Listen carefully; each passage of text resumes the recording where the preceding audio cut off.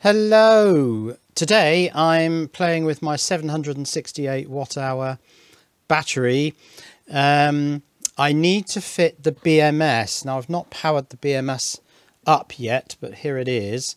This is the uh, Yunhui BMS. I think it says, no, it says that there. Yunhui.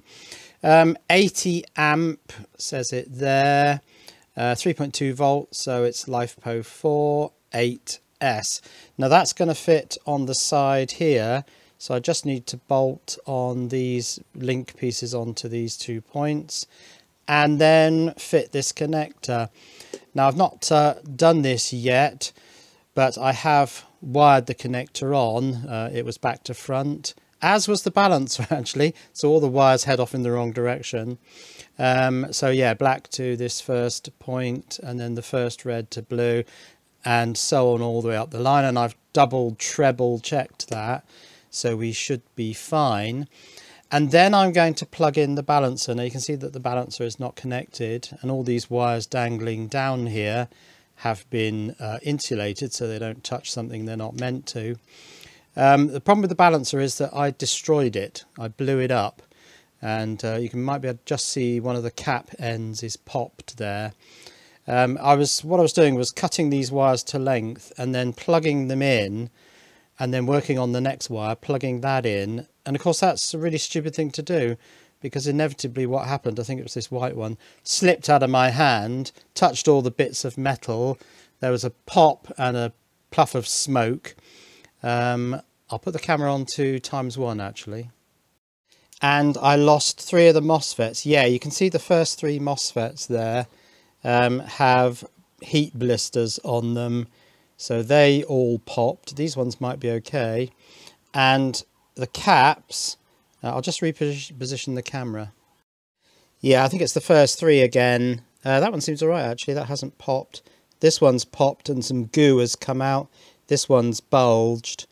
So, yeah, there's a problem with that. But I did order then immediately another one and I do have that in a bag somewhere so uh, I think I'll try and find that. Now you can probably see I've got my uh, electronic DC load here so what I'm going to do is hook this up to the battery once the BMS is on and then do a discharge because I want to check that the BMS cuts out when any one of these voltages gets down.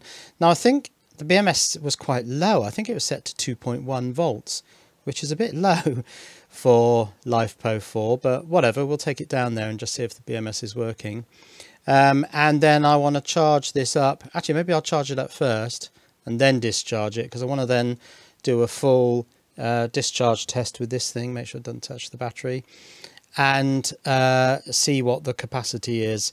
Nominally 768 watt hours but I'll test it with the electronic DC load. So let's put the camera here, which I might turn it around a bit so you can see the BMS. So I've got to bring these arms out. Now I don't know whether the metalwork on the front here is connected to there. I suppose I could check it, but uh, it's not connected yet, so it doesn't really matter. But what I don't want to do is bridge that ring terminal across onto this metalwork. Um, so I'll just be wary of that.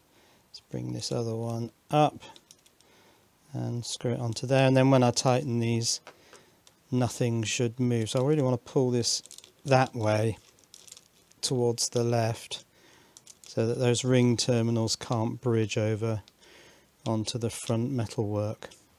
Uh, okay, actually that could go a little bit higher. So let's loosen these and just angle it up tighten those then I've got to tighten these nuts uh, well I can sort of half tighten them with this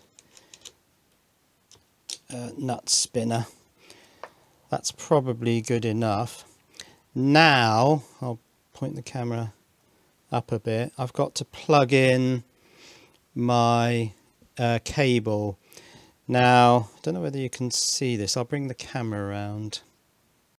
Uh, just in there, printed on the PCB, it's upside down, but it says B minus. So it's definitely negative at this end. Uh, okay, everything's double and treble checked. Let's go for it. Okay, so that's the BMS plugged in. Nothing went pop. Excellent. So let's just rotate this battery on my desk. Right, so the discharger, I've made up some nice long cables. So that's the negative. So I'm going to wrap that around my camera mount and plug it into uh, P minus. So that's pack negative there. And then positive is here. Uh, that can go up in here actually, can't it? And yes, there's a voltage on the discharger. See if I can bring that into shot without touching anything. So you can see there's 26.18 volts on the discharger. It's set to 2 amps. It's not a huge current. So let's start that. You have to press it twice for some reason. Uh, yeah, that's got 2 amps. Power is 51 watts. Can't read that very well, can you? Uh, what's that purple one? Oh, resistance. That's effective resistance. Energy in watt hours is counting up. The temperature should be going up of the heatsink and then eventually this fan will come on. But yeah, that's doing a 2 amp discharge. But the important thing is that that uh, electronic DC load can pull current through this BMS. Let's see if that's getting... No, that's stone cold. Well, I suppose at 2 amps. Uh, could I raise it up a bit? I probably could. Let's try raising this up. So 2 amps is in the green and the setting for current is on there. So that's 3 amps, 4 amps, 5 amps. So you can see the green is going up to 5 amps. This thing regulates itself to maintain that current. It's in CC constant current mode. Okay, that's putting 5 amps. Uh, that should get the heatsink warm quite quickly. Yeah, it's heading up to 37 degrees. I've got the fan set to come on at 40 degrees. Okay, the fan has now come on and I can feel a blast of warm air on my hand. So that's working and the BMS is happy with 5 amps. It's an 80 amp BMS so it should be happy with 5 amps. Um, I could probably run this up to about 10 amps. This cable I think is rated at 14. Banana plugs are good for 10. Should we try 10 amps? Don't think anything should blow up. Oh, we've gone over the 150 watt power limit. Okay, uh, no, that's not what I wanted to do. I wanted to bring this down to 8 amps. And yeah, nice blast of warm air there. But yeah, it seems good for, I don't know, up to 10 amps. Okay, I've raised the camera up so now we can see the voltmeters. It's not on at the moment, but I'll switch it on at 8 amps and we'll see what those voltages drop to. Um, oh, it's still moaning about this 150 watt limit. Can't I switch it on? No, because it keeps going. Let's bring it down to 6 amps. I think I have to clear that error first. Yes, of course, this is about 25 volts uh, under load.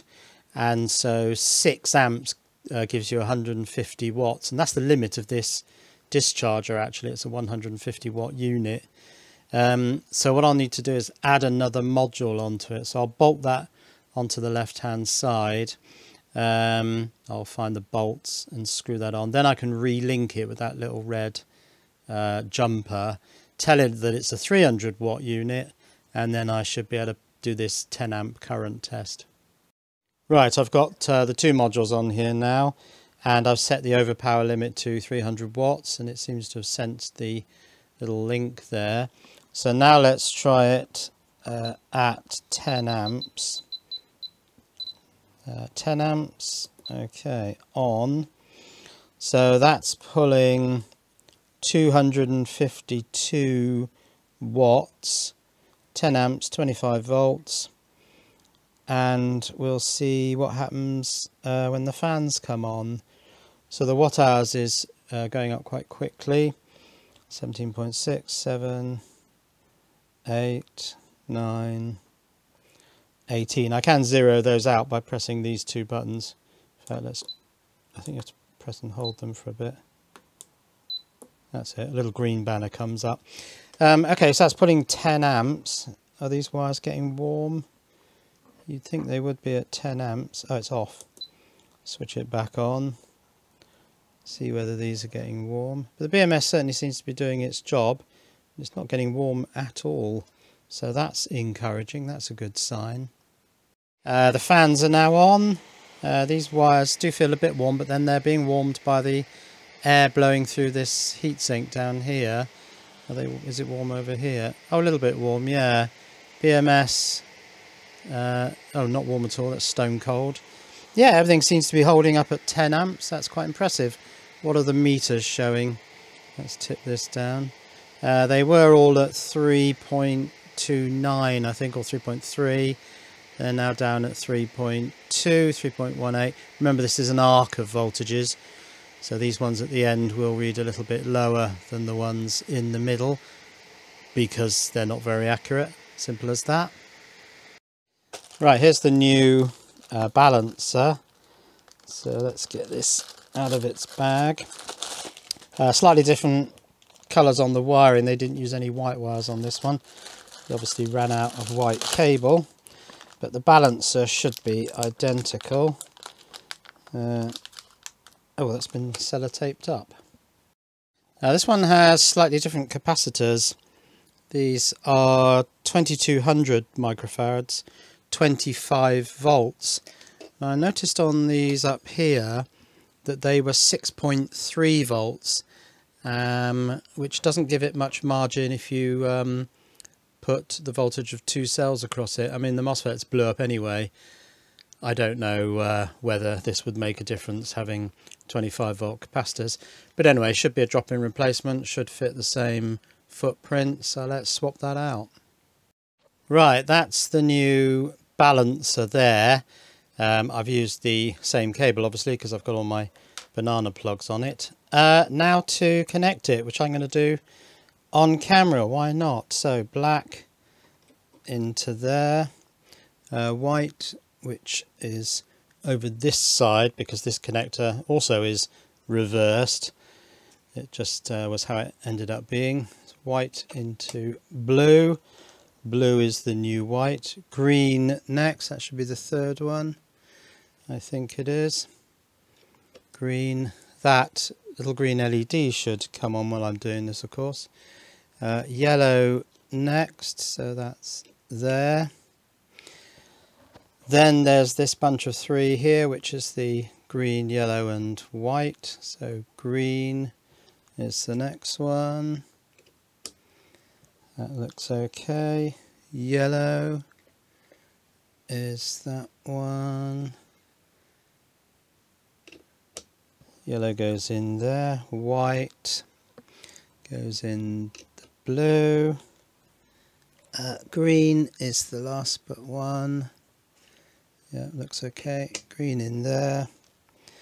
And and I mean the reason this blue last time was because I didn't put the voltages sequentially across the unit. I just put some arbitrarily probably a low voltage because the white wire shot over there somewhere. Um, anyway last wire red and that goes to most positive so that's it now balanced and BMS'd so yeah, that's it kind of finished. So now what I want to do is all this uh, charging and discharging, measuring the watt hours and doing all that stuff. But that's going to take a long time and you won't want to watch that. So I'll do that off camera. So for this video, cheerio.